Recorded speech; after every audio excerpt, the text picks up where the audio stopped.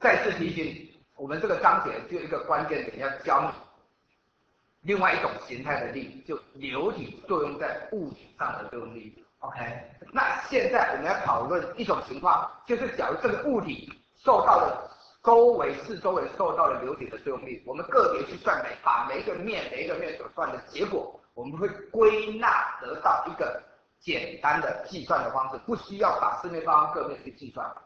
好，怎么说？我们先看这里一个例子，这个物体在这边，它受哪些力？第一个超距力，它本身的物体的什么重力？还有呢，接触力，没有超距力的就接触，谁跟它有接触？是不是弹簧对它的直接的接触？对不对？好，这两个力以外，接下来谁跟它有接触？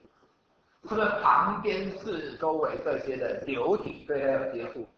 对不对？那流体有接触，前面我们跟你讲，在处理流体作用力的时候，我们会去定义什么压力三个面积作用的力，然后知道了再看看它面积是多少，这一面看它承受了多少的力量，就算这边的面的力量啊。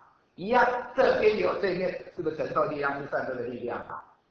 还有呢，上面是不是一比二这个力量过来嘛？还有呢，底下是不是有这些力量过来？OK，所以照理上你在算这一个分析这个物体的受力情形的时候，严格来讲是要这么分析的。怎么分析？重力、弹力，还有这个四面八方的把每一个这边的力量、这边力量底下的上面的流体的作用力都把它算出来。OK，懂意思？但是我们现在要等下要教你的就是，你去仔细的我们从这里分析的结果。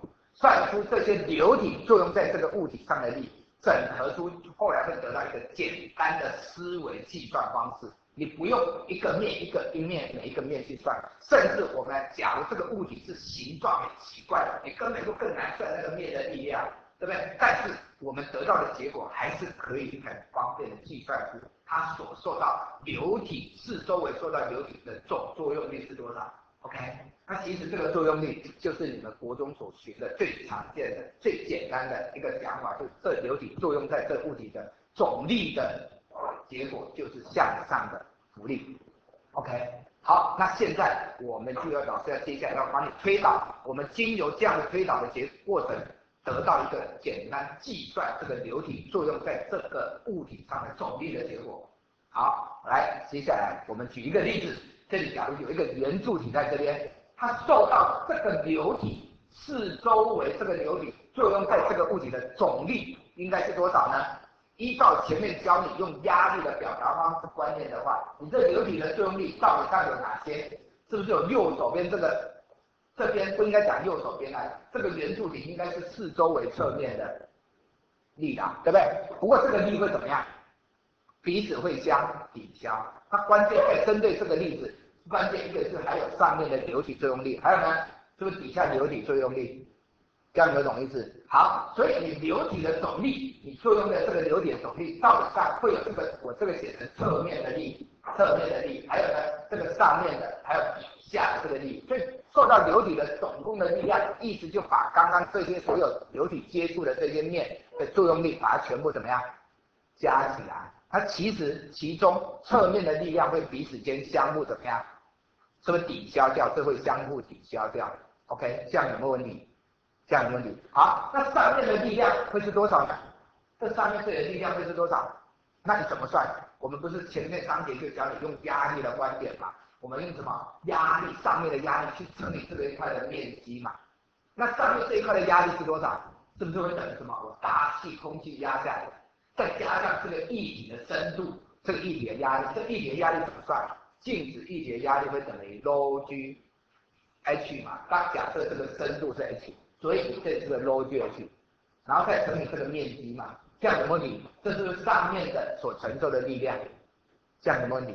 好，一样，同样的情形，我来算底下这个面所承受的力量，推往上的力量怎么写？一样是底下的压力去乘以这个底下这一块的底下的这个面积嘛，是不是？有没有问题？它底下这个压力是多少？底下这个压力一体，这里这里承受整个压力是多少？一样是外面的大气压下，还有再加上这里。那我假设我这圆柱体的高度是 h，所以这个离地面的深度，我们不是一体的压力，静止一体的压力造成的压力是 logh 嘛？那这里要怎么解呢？你这是 ρ g 的什么？是不是深度真正的离地面深度是总深度，是不是小 h 加这个物体这个高度，对不对？然后再乘个面积，好，这个是向上的，对不对？这样的问题。好，那剩下怎么样？我现在要算总力，我刚刚讲了，总共流体全部对它作用力怎么样？是把这二三全部带回去，这个小掉，所以你的总力，你 S 的流体的总力是不是上跟下相加？但是一个是向下，一个是向上，方向相反就变相减。所以你看这个减这个，在下面的地方减，上面地方是这个大，这个减掉了，这个 low g h 这个 A 也会减掉了，所以剩下只有哪一个？是不是 low G H 的大 I？好，那得到一个简单式子，什么式子？什么叫 h？是这个物体圆柱体的高度，什么是 a？是最斜面积，所以这个是什么意思？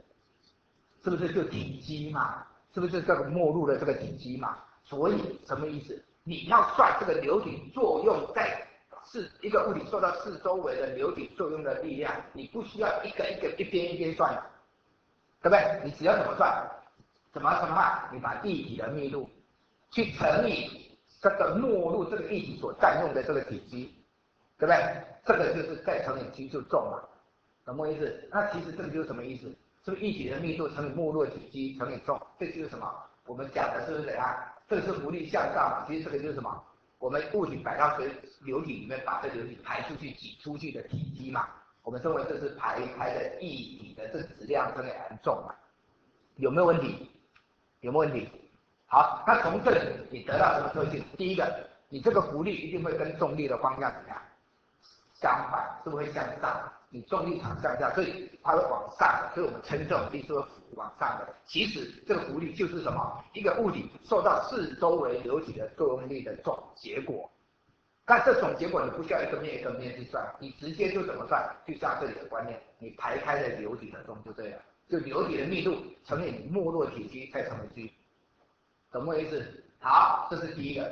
第二个，这个假如我现在是规则形状啊，那现在体积是指没落体积。假如形状这样子的，我的形状是不一样的，这样子。哇，你这样子有没有办法像我刚刚那样算？可能很难哦，对不对？你是不是要这样说？哦，这一面有这个力，这一面有那个力，那一面跟这个面的垂直的这个力量是不是有四面八方有点作用力？其实到底算仔细化会很多，有没有懂老师的意思？对不对？好，那这个力还有向下又斜斜的，你要算的话，你还要向上处理。那其实不用，根据这样的这刚刚讲的观念，你其实只要知道是什么，是不是这个物体的什么体积就可以了。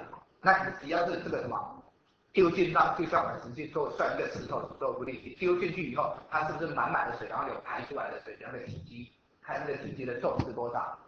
有没有懂到这意思？好，所以你看看，我们从基本观念去延伸过来，就可以知道哦，针针对这种不规则的形状的物体的浮力，我们一样不需要在一个面一个面去算，不需要这样的，我们直接这个地方那个流体的密度乘以它物体的不管形状是它体积是多少的重，这样有没有问题？好，还有一个就是这个物体所受的浮力，会不会因为你在比较深的地方所受的浮力比较大？有没有说跟深度有关？